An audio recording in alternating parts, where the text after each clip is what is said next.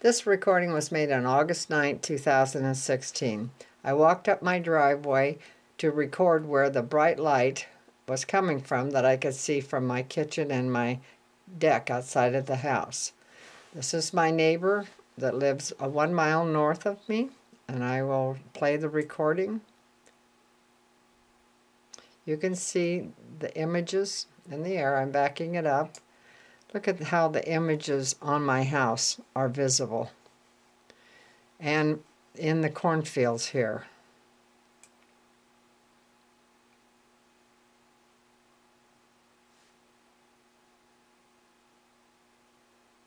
You can, you can just see the moving on the roof of my house and why my Permar security technician and I saw them and the words and the images projecting there, but also in these cornfields and, and on the trees.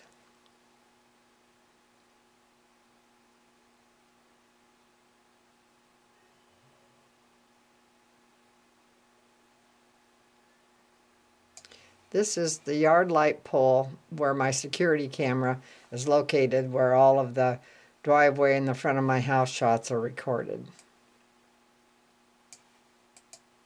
This is the still. This is the bright light, and I just do not believe that it is a yard light. It is very, very bright.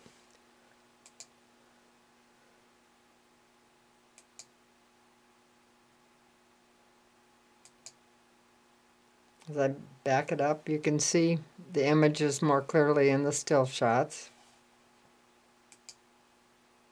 And again.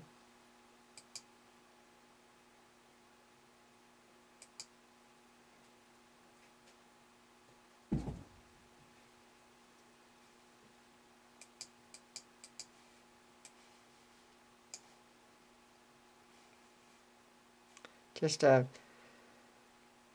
mirage of images.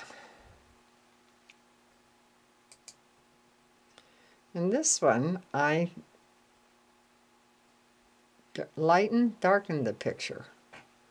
And when I did, I was able to see more distinctive uh, shapes of the images on the roof of my house, in front of my house. But I was also amazed at the fields behind the house.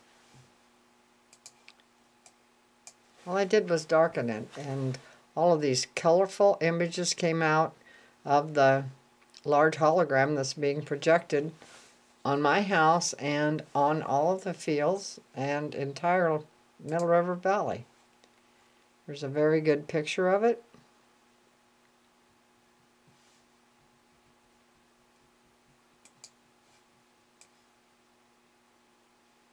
Same images.